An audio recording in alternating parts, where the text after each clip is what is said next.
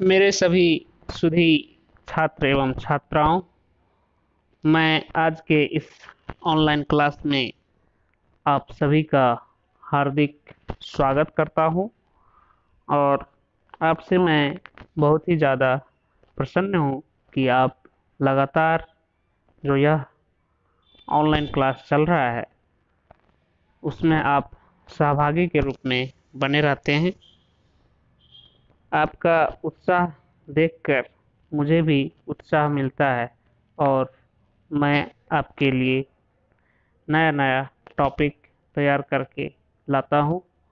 इसी कड़ी में आज मैं आपके लिए पुनः B A part one geography honours का पेपर फ़र्स्ट का यूनिट फाइव से एक टॉपिक लेकर के आया हूँ और यह टॉपिक है हिंद महासागर की नितल का उच्चावच। Relief of Indian ocean floor आपको यह बताते हुए मुझे भी बेहद खुशी हो रही है और आपको भी खुश होना चाहिए कि विश्व में मात्र एक यही महासागर है, हिंद महासागर, जो कि भारत का नाम इससे सीधा सीधा जुड़ा हुआ है। यानी कि भारत को हिंद भी कहा जाता है, हिंदेशिया भी कहा जाता है और इसी को इंग्लिश में इंडिया कहा जाता है। और आप इस महासागर का नाम में आप इंग्लिश में देखोगे तो इंडियन ओशन है और हिंदी में देखते हो तो हिंद महासागर है। यह अपने आप में सबों को गौरवान्वित कर देता है जब इस महासागर का हम अपने देश के नाम से जोड़ करके देखते हैं। तो आइए इस महासागर के बारे में आज हम चर्चा करेंगे।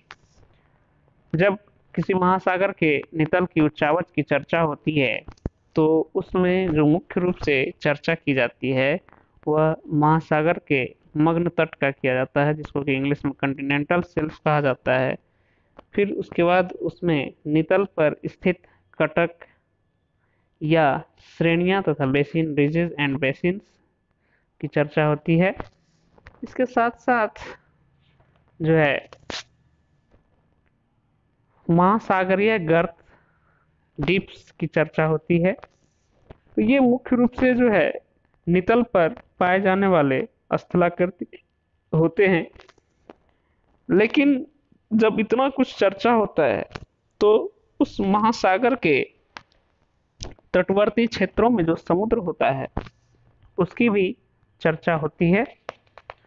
और आज के इस क्लास में मैं आपको जो पढ़ाऊँगा, हिंद महासागर का संक्षिप्त परिचय दूँगा और आपको इसके मग्न तट के बारे में चर्चा करूँगा। और यह ऑनलाइन क्लास का पहला लेक्चर है इस टॉपिक से रिलेटेड। नेक्स्ट टॉपिक में जब मैं आऊँगा तो फिर आपको इसके अगले हिस्से की चर्चा करूँगा। यह क्लास जो होगा, वह तीन भाग में होगा आपका। आज का ये लेक्चर फ़र्स्ट होगा, इसके बाद दूसरा, फिर तीसरा। तीसरा में मैं इसे पूरी तरह से कंप्लीट करूँगा। तो आइए चर्चा करें कि हिंद महासागर हिंद महासागर का परिचय देखें। तो हिंद महासागर क्षेत्रफल की दृष्टि से विश्व का तीसरा बड़ा महासागर है।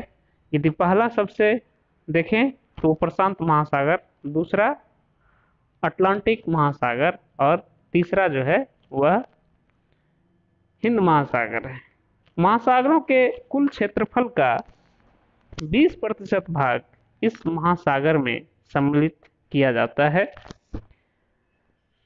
इस महासागर के उत्तर में भारत, पाकिस्तान तथा ईरान पूर्व में ऑस्ट्रेलिया, इंडोनेशिया का सुंडा द्वीप तथा मलाया प्रायद्वीप पश्चिम में अरब प्रायद्वीप तथा अफ्रीका इसकी स्थल सीमा निर्धारित करती है। दक्षिण पश्चिम में अफ्रीका के दक्षिणी सिरे के दक्षिण में यह अटलांटिक महासागर से मिलता है। पूर्व एवं दक्षिण पूर्व में यह प्रशांत महासागर से मिला हुआ है। इस महासागर की दक्षिणी सीमा पर 20 डिग्री पूर्वी तथा 115 डिग्री पूर्वी देशांतर के मध्य अंटार्कटिका के तट का कुछ भाग स्थित है। इसका अधिकांश भाग दक्षिणी गोलार्ध में विस्तृत है। उत्तर पूर्व को छोड़कर अन्यत्र इसके तटवर्ती भाग गोंडवाना लैंड के अवशिष्ट अत्यंत प्राचीन पठारों से निर्मित है। तो ये इसका आकार एवं विस्तार, इसका संक्षिप्त परिचय था। अब जो हम चर्चा करेंगे, वो इसका होगा हिंद महासागर के नितल का उच्चावच। Bottom relief of the Indian ocean तो इसमें हम चर्चा करेंगे मग्न तट की कंटिनेंटल सेल्फ तो मग्न तट, आपको पहले भी मैं बताया था जब अटलांटिक महासागर का नितल के बारे में बता रहा था तो मग्न तट जो होता है, महाद्वीपीय भाग जहाँ महासागर से आकर के मिलता है, वहाँ पर एक ढाल होता है, जो कि मिलता है किससे? महासागर से।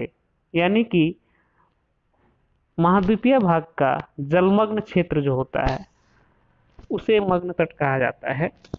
तो इसी की चर्चा मैं करूँगा हिंद महासागर के साथ। हिंद महासागर के मग्न तटों की चौड़ाई में विभिन्नता मिलती है। इस महासागर के मग्न तट प्रायः सकरे हैं, जिनकी औसत चौड़ाई छियानवे, नाइन्टी सिक्स किलोमीटर है। किंतु अरब सागर, अंडमान सागर तथा बंगाल की खाड़ी में मग्न तटों की चौड़ाई एक सौ बिरानवे one hundred ninety two kilometre से टू हंड्रेड एट यानी दो सौ आठ किलोमीटर तक है। ऑस्ट्रेलिया तथा न्यू गिनी द्वीप के मध्य मग्न तट लगभग 960 किलोमीटर तक चौड़े हो गए हैं। मग्न तटों के बाहरी किनारे पर समुद्र की गहराई 50 मीटर से 200 मीटर तक नापी गई है। उत्तरी पश्चिमी ऑस्ट्रेलिया के समीप मग्न तटों के बाहरी किनारों 300 से 400 मीटर तक गहरे हैं। हिम की क्रियाओं के कारण अंटार्कटिका से संलग्न मग्न तटों की संरचना अत्यधिक जटिल है। यहाँ मग्न तटों के भीतरी किनारे 150 से 200 मीटर तक गहरे हैं। वहीं इनके बाहरी किनारे की ओर समुद्र की गहराई 400 से 500 मीटर तक मिलती है।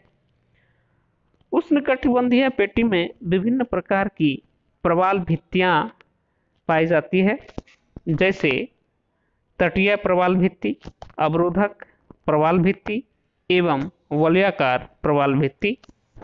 मग्न तटों के सहारे महासागरीय मग्न ढाल अत्यधिक तीव्र हैं, जिनका ढाल 10 डिग्री से 30 डिग्री तक है। इन मग्न ढालों पर अनेक घाटियाँ तथा कैनियन देखने को मिलते हैं।